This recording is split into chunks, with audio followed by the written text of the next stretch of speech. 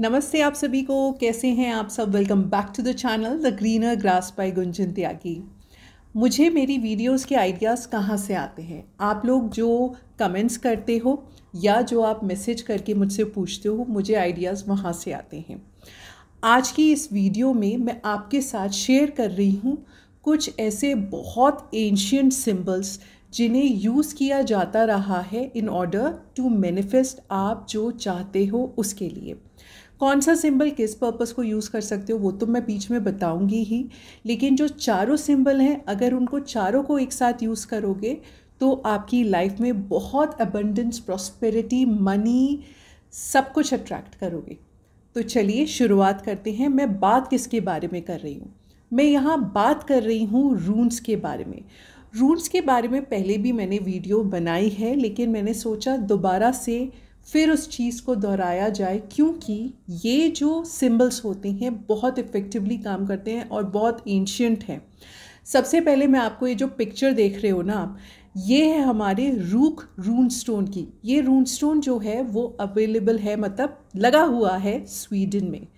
Sweden में ये लगा है तो आप देख सकते हो ना कि इसमें सारे जितने हमारे रूम्स हैं ना, वो बने हुए हैं। तो आप समझ पा रहे हो इनकी इम्पॉर्टेंस क्या होती है। अब थोड़ा सा रून्स के बारे में बता देती हूँ। ये रून्स जो है ना, एक इंटीग्रल पार्ट है हमारी नॉर्स माइथोलॉजी का।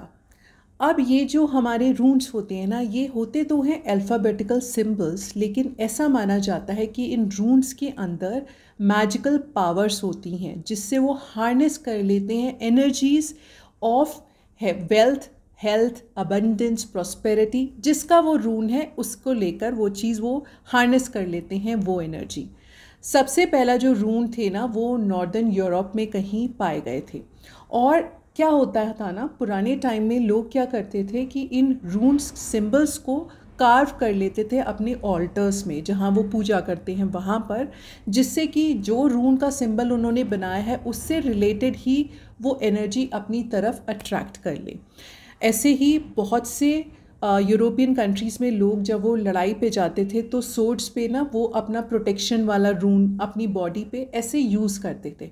तो चलिए शुरुआत करते हैं आज के रून्स की, जो सबसे इस वीडियो में ना मैं बात करूँगी हमारे उन रून्स की जो हमारी लाइफ में लाते हैं वेल्थ अबेंडेंस प्रोस्पेरिटी आप में से बहुत लोगों ने ना मुझे पूछा हुआ है कि कोई ऐसा सिंबल है क्या जब हम स्टॉक्स का काम कर रहे हैं, हम गैम्बलिंग कर रहे हैं, हम बिज़नेस पे कर रहे हैं तो हम उसे ड्रॉ करके अपने पास रख सकते हैं तो यहाँ आपको आंसर मिल जाएगा।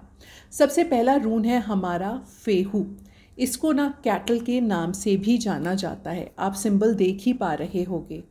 इस फेहू सिंबल को ना हम rune of wealth and prosperity भी बोलते हैं। ये हमारे रूनिक अल्फ़ाबेट का फ़र्स्ट सिंबल है।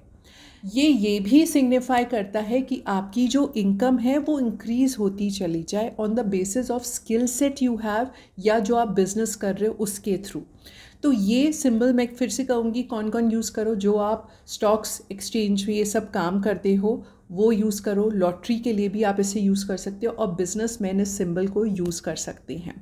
ठीक है नाउ मूव ऑन करते हैं हमारे नेक्स्ट सिंबल की तरफ़।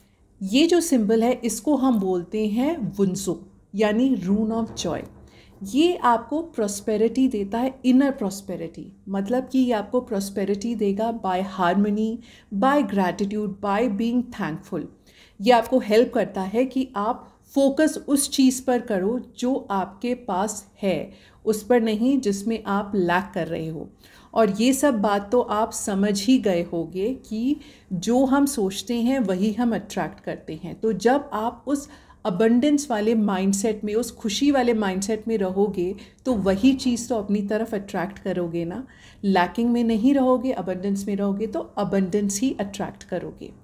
अब मूव ऑन करते हैं थर्ड सिंबल की तरफ़। इस रून को कहते हैं जेरा, या ज़ीरा भी बोलते हैं। ये है हमारा rune of harvest actually Jera का जो मीनिंग है ना, वो है ईयर ये कनेक्शन है सीजन्स के साथ। मतलब कि ये वर्क करता है associated with the cycle of nature अब ये जो हमारा ज़ेरा है ना, ये एक्चुअली हमारी प्रोस्पेरिटी माइंडसेट देता है लॉन्ग व्यू अप्रोच वाली।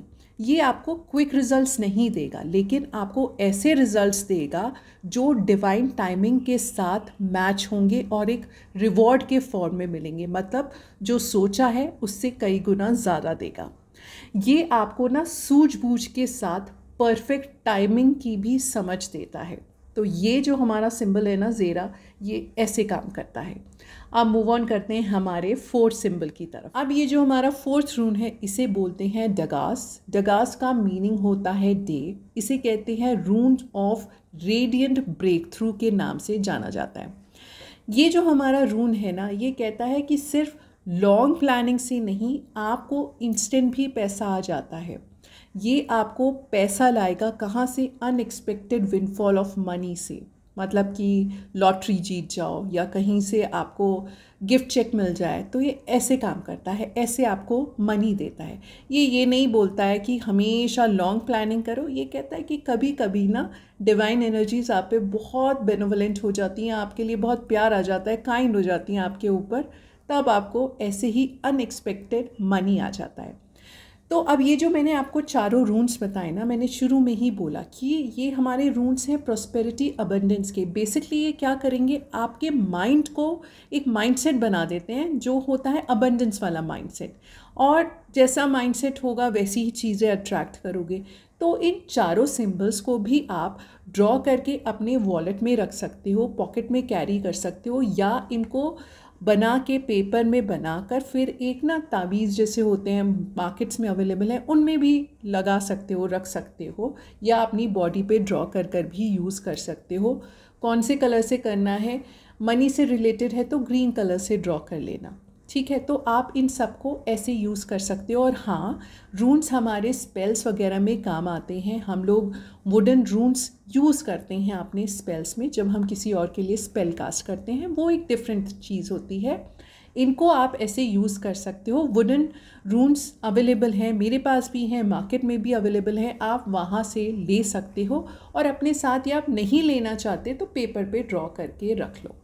ठीक है? तो ये हो गए हमारे सिंबल्स जिन्हें आप यूज़ करो अपनी इन सब बातों में यूज़ करो बिज़नेस के लिए यूज़ करो अपना मनी का कोई रिलेटेड इशू है उसके लिए यूज़ कर लो। तो ये सब आपके काम आएँगे और जैसा इनका मीनिंग समझाया, वैसे इनको यूज़ करना, ठीक है? तो आज के लिए इतना ही। Thank you so much for watching please do like share and subscribe and Telegram वाला जो चैनल है ना, उसको भी लिंक पे क्लिक करके उसको ज्वाइन कर लेना। Thank you so much and जय सिया राम।